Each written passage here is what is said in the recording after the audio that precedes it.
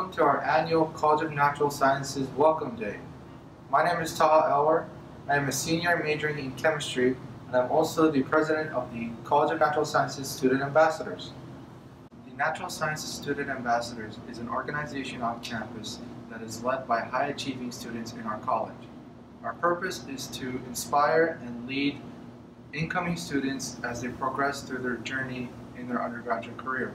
Today, we will be sharing a tour of our college, including introductions from each of our departments, so you can meet some of your professors.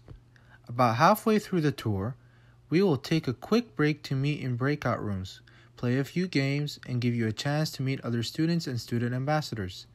Then, we will turn here to finish up the tour before hearing from our Associate Dean. As you are watching the tour, please feel free to leave any comments or ask any questions that come up in our general chat channel. These can be questions about the buildings, your major, or simply getting started as a NatSci student. We have ambassadors, advisors, and faculty online ready to respond. Without further ado, let's get started with the tour beginning with Sinclair. This library houses the Pre-Health Pre-Law Advising Center, which gives free advising for students interested in law or health careers. Sinclair Library houses the Advising Center for the College of Natural Sciences, which has six advisors ready to help the 2,000 students in our college. Our college is made up of the School of Life Sciences and four departments chemistry, mathematics, information and computer sciences, and physics and astronomy. With all that great info in mind, let's hear what the Advising Center staff have to offer to our students. Welcome to the College of Natural Sciences Student Academic Success Center. We provide academic advising for students in the College of Natural Sciences. If you're majoring in any of our School of Life Sciences majors, including biology, botany, marine biology, microbiology, and molecular cell biology, we'll be your one-stop shop for your advising needs. For students majoring in astronomy, astrophysics, physics, chemistry, biochemistry, mathematics, or information and computer sciences, we provide college advising within a dual advising system. That dual advising basically means you'll have two types of advisors, a major advisor and a college advisor. Our areas of expertise are different, but our goals are the same, to help you succeed while you're here and beyond graduation. Typically, you'd come to our office in Sinclair 301 for advising and other services. To allow for less in-person contact during the pandemic, we've moved all of our services online and encourage you to stay safe and take advantage of these online options. We know this is going to be a very different fall semester than any of us have experienced or were expecting, but your advisors are here to help you navigate this new year and new college experience. Speaking of, let's meet the NatSci advisors and staff. Hello, my name is Stephanie Kraft Terry. I'm the Director of Advising for the College of Natural Sciences here at the University of Hawaii at Manoa. I'm excited to work with you all as you get started at the university. Welcome to the college. Hi, I'm Reno Kuchiwara. I'm one of the academic advisors for the College of Natural Sciences. I advise um, biology, marine biology, botany, and um, I'm a college advisor for the um, for computer science and information and computer science. Um, I look forward to meeting you all. Hello, my name is Solimar. I'm one of the academic advisors here at the College of Natural Sciences. I advise the following majors, biology, marine biology, botany, and I also do college advising for computer science and information computer science majors. I look forward to working with you in this upcoming year. See ya! Hi guys, I'm Kiana Dizan and I am an advising assistant to the NatSci Sassy office.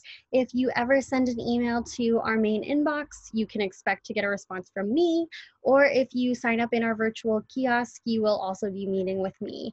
Um, I mainly help out your college advisors with any back-end responsibilities, approving any major paperwork, removing holds, um, so that's me. If you have any general questions, need to talk to someone, need to get in touch with someone, I'm here for you guys. So just send me an email or sign up in the kiosk. It was nice meeting you all, and I look forward to seeing you guys online.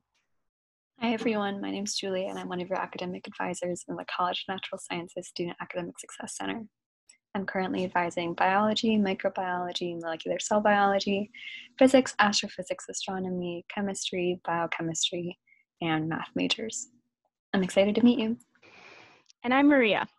Like Julia, I advise biology majors last names I through Z, molecular cell biology majors, microbiology majors, and then I'm a college advisor to those majoring in chemistry, biochemistry, physics, astronomy, astrophysics, and mathematics. We're all looking forward to meeting you or continuing to work with you this semester. If you have any questions or want to meet with an advisor, you can find our website here. And on that website, you can find our individual contact information as well as our front desk contact information, and you can schedule an appointment. Any questions, any concerns you might have, we're here to help. So please reach out. Enjoy the rest of the tour. Hi everyone, my name is Vincent. I'm a fourth year majoring in biology. I'm also the secretary for the Natural Sciences Student Ambassadors. Behind me is the Life Sciences building. This building is located at the Diamond Head end of McCarthy Mall and is conveniently located next to Paradise Palms and Hamilton Library. Being three stories tall, the Life Sciences building features state-of-the-art labs, six of which are teaching labs and 15 are research labs. The Life Sciences building also features a 600 square foot student collaboration area 52 grad student workstations, 5 conference rooms, and 28 faculty offices.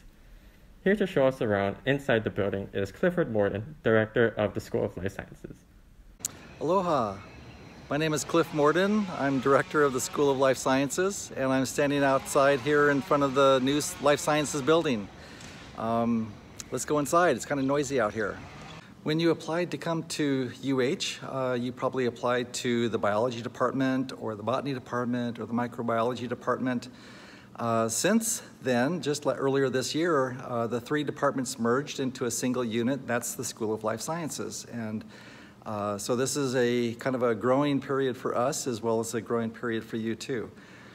Um, there's five majors within the School of Life Sciences, so botany, biology, microbiology, uh, also marine biology, and molecular cell biology. So all five of these are uh, opportunities within our school to learn, grow, and prepare yourself for your future. Um, there are, the, the, facilities here, are, we're kind of spread out over several different buildings. Uh, the Life Sciences building, where I'm at right now, is the newest building, and uh, it was just opened up, gads, about a month ago. And so we're still kind of moving into it, uh, starting to learn a little bit more about the, the facilities and, and what goes on in here. So I'll give you a little quick tour of it. It's a pretty cool place, a very modern uh, place to have our uh, rooms and so forth. The entrance to the building is this uh, facility for undergraduates to gather and to sit, study, uh, talk with each other, um, use the whiteboards on the walls to write notes or work out problems uh, whatever the case might be. So this is a, a, nice, comfortable place to aggregate. So you can see uh, bright windows, lots of places to sit and study uh, or gather. Um, and some of the other rooms around here are the laboratories. So if you're taking a microbiology or a biology laboratory, you might be in this room here. Uh, so this is the uh, one of the microbiology labs that you can see. And as I mentioned, it's also just getting moved into. We like we just started moving the stuff over here just the last week. And uh, so they're still getting things kind of put away and ready for the class semester to start. This is one of the research labs and uh, you can see it's also still the pro process of getting set up, but they're also still starting some experiments and getting things underway for their research. They have some process going on over here and so forth. So uh, people are starting to get set up in their laboratories and, and as you start going through your program, uh, you'll probably find that there's lots of opportunities for research as an undergrad, doing internship or other work with some of the professors in our building here. The other buildings that we have here for the life sciences are the St. John Laboratory Building and also the Edmondson uh, laboratory building, which is uh, the hub for our department, our program. Um, Edmondson 216 is the office for uh, the school, and if you have any questions or need any help and guidance, uh, that's the place to go. And um, there's the staff there that can help you find what you need and get you sorted out. There's also the advising office, which I'm sure you'll hear more about uh, associated with this recording as well. We have faculty in all the different disciplines that we I had mentioned earlier. Uh, so um, faculty come from a, a, number of different disciplines and also they cross over into multiple disciplines. We have some faculty that were uh, in the biology as well as microbiology programs or botany and biology or botany and microbiology. So uh, and marine biology. So uh, wide ranges of experiences among the faculty. The different areas that they study include ecology and evolution, uh, molecular biology, systematics, um, evolutionary studies with systematics, uh, looking at the phylog phylogenetic relationships among organisms, uh, the biogeography of, of, organisms, how they move about the islands or around the world, um, and uh, all the way down to looking at cell and molecular issues and, and uh, studies associated with that. Uh, one professor working on immunology, which is also uh, quite important right about now with the COVID crisis and learning how to combat that. Um, so we have a huge breadth of experience within our faculty and uh, they're all here to help you guide you and direct you in uh, choosing your career and helping to establish you uh, in the discipline that you hope to make your life, lifelong dream. Um, so feel free to come by and visit uh, during the course of the semester. Uh, if we can do anything to help you, uh, don't hesitate to ask. Um, there's lots of faculty here that are willing to support, help, and answer any questions that you might have. And as I mentioned, there's lots of opportunities for getting involved in research projects uh, with our faculty as well. And so don't hesitate on that uh, to get involved and uh, become uh, more intricately associated with some of the processes and, and disciplines that, were, uh, avail that are available to us here. Um, and uh, like I said, we're here to help and feel free to drop me a line or ask questions anytime. Thank you and have a great semester.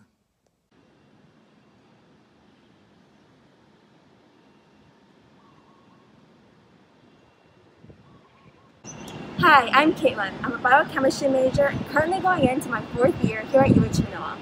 I'm also the Vice President of the Natural Sciences Student Ambassadors. Here is Edmondson Hall. If you're taking any type of biology course or if you're majoring in biology, this is the place to be. So starting from the bottom up, here is the first floor where all undergraduate labs are conducted. One tip I have for you all is that when you walk through these doors, you are prepared with a lab coat, long pants, closed-toed shoes, and a completed lab notebook ready to go. These labs are great for people like myself who work very well when we take what we learn in the lecture halls and apply it to hands-on experiments and demonstrations. Fun fact, here on this first floor we have a fish museum where we have a collection of marine life stored behind this door. This allows researchers to come down and request samples from all around the Pacific. So here on the second floor is where you can find a lot of your upper level biology lab courses. Many of these lab courses will be relocated to the new Life Sciences building, however many will still remain here.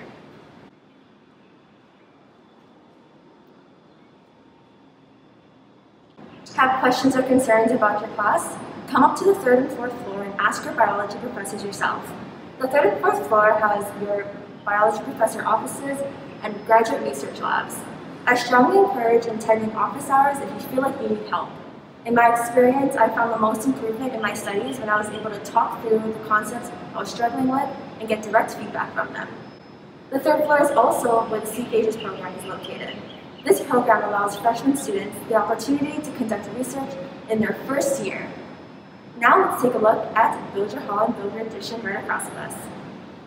Hi everyone, my name is Angela Phillips, and in addition to being a senior majoring in biology, I am also one of your natural science student ambassadors for the year. We're currently here in front of Bilger Hall, which is home to the university's chemistry department, so let's get to know the building together. The first floor of Bilger Hall is dedicated to general chemistry classes, such as Chemistry 131, 161, and 162. At the end of the corridor is the Bilger where general chemistry laboratories take place. During summer school, I spent many hours at the Learning Emporium, On the second floor of the Bilger Addition, an incredible resource for anyone in need of tutoring for chemistry, mathematics, ICS, and physics.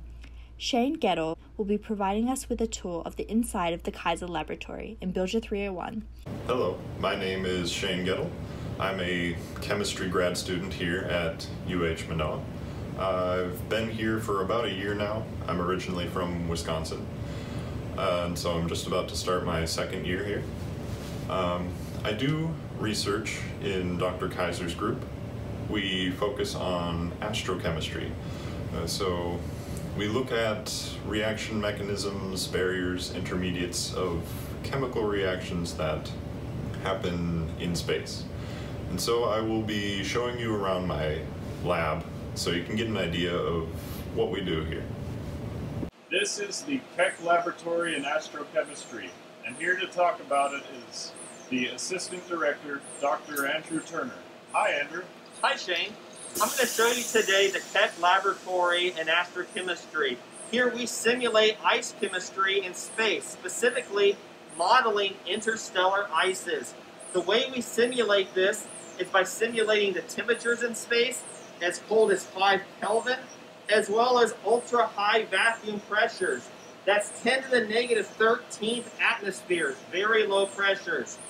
In this machine, we deposit ice at very cold temperatures, and then we subject those ices to energetic electrons. That simulates galactic cosmic rays in space. That initiates chemistry, and from that we can try to deduce what chemistry happens in space in the interstellar medium. We use techniques such as mass spectrometry, infrared spectroscopy, and in particular, we use YAG lasers to selectively ionize our products. We see back here YAG lasers that pump dye lasers. We combine these, they undergo four-wave mixing. We bring them into the machine, and as the ice is sublime, as we warm them up, we can individually detect them by tuning our lasers to certain energies so that our machine only sees very specific molecules. And so it's a very impressive machine, as you will see here. The control panel's back here, and it helps us understand what sort of chemistry happens in space in the ice space. So here we have the levitator. And so we can use acoustics to levitate particles with this machine. And so on the bottom there's a piezoelectric transducer, and on the top there's a reflector. And so we can create sound waves that go back and forth to create a standing wave. And we can levitate droplets of liquid uh, on that standing wave. So essentially it is floating in a medium of air or whatever gases we have inside the chamber. There are no surface interactions, and so we can study you know, chemistry that way. And so we can use a laser right here, a CO2 laser. We can shoot that inside the chamber and initiate a reaction of whatever droplet we have suspended. For example, we've done uh, reactions with JP10 jet fuel, and so we can shoot the laser in and cause a combustion reaction to happen. Here is the cross molecular beams machine. We use it to simulate gas phase chemistry that goes on in the interstellar medium. So to do that, we have two supersonic molecular beams that intersect at 90 degrees uh, under single collision conditions. Uh, that way we can simulate individual reactions between molecules that may be in the interstellar medium. And so we detect these products using mass spectrometry in a very, very low pressure environment, uh, about 10 to the minus 15 atmospheres. And we can use this to explain how molecules in the interstellar medium are formed and the implications therein. That concludes the first half of our tour. Before we continue the tour, we'll break out into different rooms to meet other students and student ambassadors. What room you decide to join is up to you. If you're looking for a bit of trivia, you can join our Kahoot room. If you're looking for some friendly, creative competition, try our meme competition room. Or if you're just looking to casually interact with other students, ask some questions about the tour, or starting out your first year at UH Manoa, join our student lounge. We'll meet back here in a bit to meet the departments of physics and astronomy, mathematics, and information and computer sciences.